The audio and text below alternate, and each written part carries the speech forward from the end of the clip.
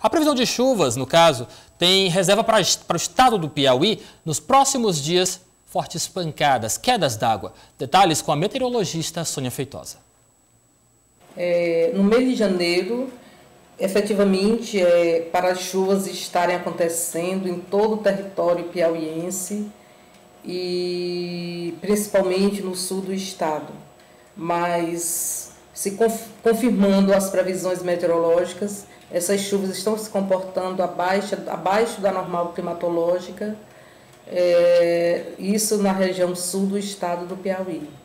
E a previsão ainda aponta que para os próximos meses, incluindo janeiro, ou seja, janeiro, fevereiro e março, no sul do estado essas chuvas devem ser abaixo da normal climatológica. Já para o norte do estado, elas devem variar de normal a acima.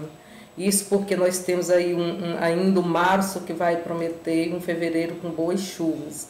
E em março as chuvas já começam a declinar no sul do estado, não dando mais tempo de haver um retorno.